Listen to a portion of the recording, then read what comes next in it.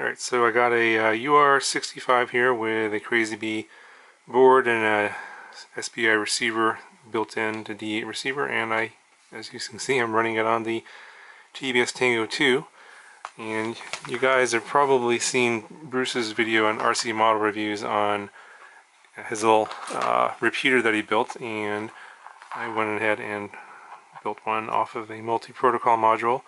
This is not a a new idea. In fact, I actually did something like this uh, four years ago, and I'll put a link to that video. Is February 22nd, 2016. I took a Dragon Link and I used a repeater to FrSky, so I could use my Taranis and um, use that uh, FrSky re receiver to repeat to um, a Dragon Link transmitter via PPM. This is the same idea.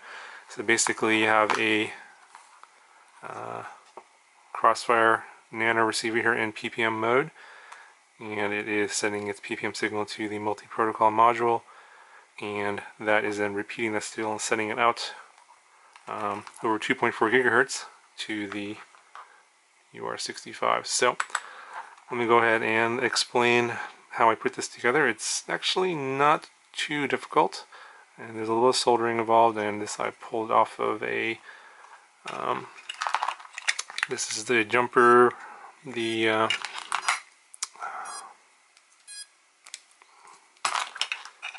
Alright, so this is the uh, jumper uh, JP4IN1 uh, multi-protocol module that comes with the T12, T12 transmitter. I think it also came in early versions of the T16 as well.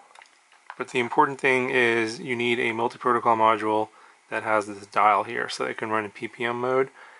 Um, there are other ones that don't have that, and I haven't gotten this to work. So I was going to put this video out later, but I figured I might as well show you guys how it works in PPM mode. I actually, I've gotten this working. Uh, I've had this working for a while now. I've just been putting off on the video because I couldn't figure out how to get this to work in serial mode. And I'm still working on that. I think I can get it to work, but um, there's a bunch of technical hurdles I'm not going to get into into this video, but if I get that figured out. I'll have another video later, but it does work in PPM mode. I know that there's issues about latency. I I don't know. I'll show you some flight footage at the end. You guys can tell me if you think that the latency is a problem. I don't feel like it's, a, it's that big of an issue. And, you know, because you guys will see me hitting the gates with this thing, so I don't know. I'm not a, I'm not a whoop racer, so I'm not a not really a good uh, candidate to tell you if the latency is really a big issue or not. But for me, it didn't seem like it was a big issue. Alright, so let me go ahead and show you how this is wired up first of all. Obviously you need some kind of power source here and I'm just using a 2S LiPo here with a JST connector. Um, the voltage range for this, um, I'll put up on the screen here, I'm not, I'm not exactly sure, but 2S is totally fine.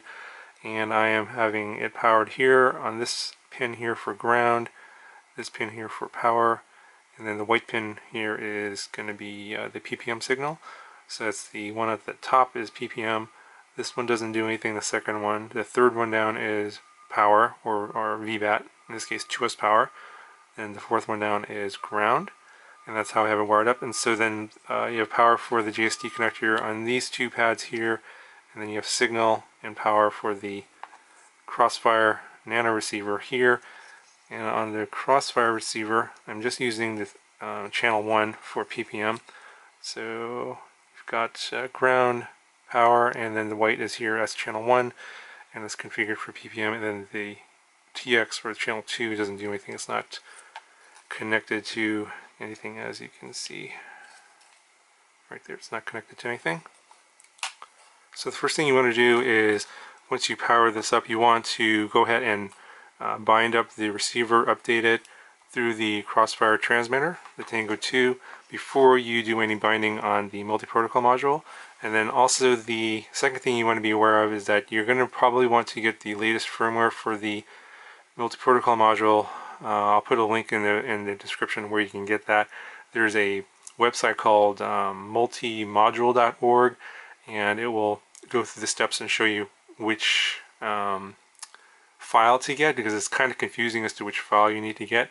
I'll actually put up a screenshot here and show you the selections I chose to download the correct file and then um, you're going to need to plug this into uh, USB here into your computer and download another program called Flash Multi to update the multi-protocol module to the latest firmware. I had older firmware on this I could not get this to bind on the older firmware but when once I updated the module to the newest firmware binding was not a problem.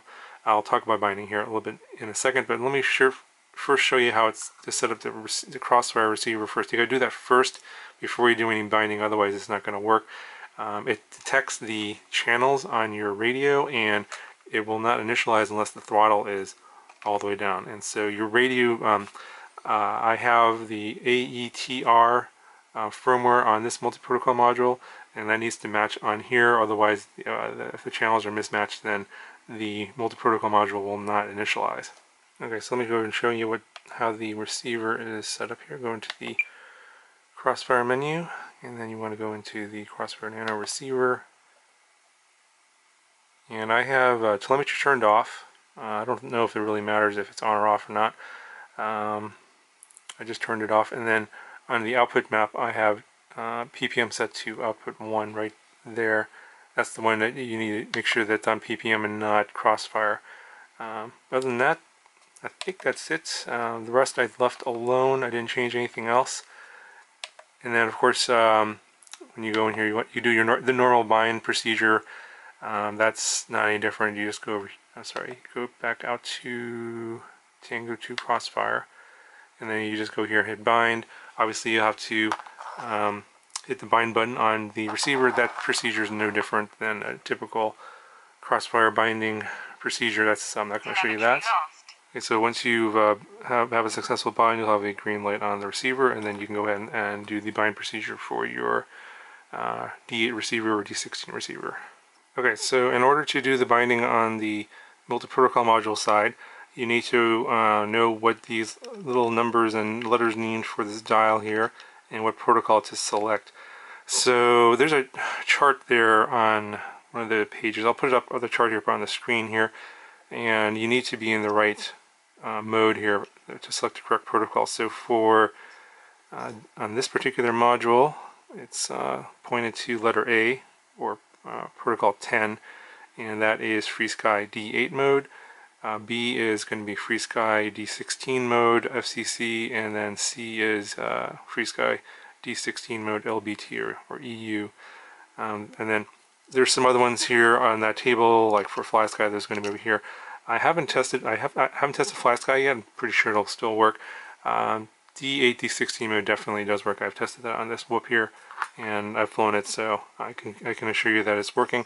But the uh, whoop here is in D8 mode, so I have it pointed to uh, the letter A here, or uh, protocol 10. That's uh, FrSky D8. So you want to make sure that that's set to there and then you, when you um, to put this into bind mode you're going to press and hold the button while you're powering it up you're going to hold the button for three seconds and then it'll start flashing very quickly and then you'll know when you're in bind mode and then you actually what you want to do is you want to put the uh, the FrSky receiver into bind mode first and then power up the uh, multi-protocol module in bind mode. So go ahead and I'll show you that. Hold down the button and we'll go ahead and power this up. Hold it down.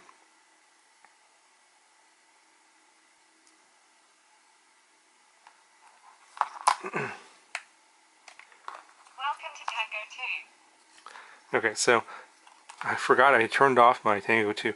This radio needs to be on for this to work. Otherwise it won't go into bind mode because the, as I said earlier, the multi-protocol module will not initialize. So you want to make sure that your Tango 2 is on, bound of course, and then the throttle all the way down. That's important, otherwise it won't initialize. So let's try this again. We're going to hold on the bind button and power this up. There we go. And then you should see this flashing red light. Should be flashing about like that. And then now that's in bind mode. And assuming your receiver was in bind mode, it will eventually stop like that. You'll get a solid light. And then you know you're bound. And that's it. There's nothing else to it. Um, you're bound and then uh, you just obviously the crossfire receiver is bound you just need to have some sort of an antenna on here just have this sort of temporary antenna on here uh, obviously the range of the crossfire receiver is not that important because um, actually the antenna, the antenna you put on here is not really that important because I'm assuming you're going to probably keep this fairly close to you so you probably want a good antenna on this side here for the 2.4 gigahertz so you get good transmission to your FrSky receiver. And that's pretty much it. Um, if you guys have any questions, let me know. I can try and maybe answer them in a follow video, but its procedure is pretty simple. Just got to make sure your Crossfire receiver is in PPM mode. And um, yeah, I'm to try and figure out how to get this to work in serial mode because I know that uh, you guys are worried about latency and all that. Um, I'm still working on that. There's problems. it's complicated. Anyway, I um, hope you found this video helpful. Uh, please give me a thumbs up if you liked the video, and I'll talk to you guys later.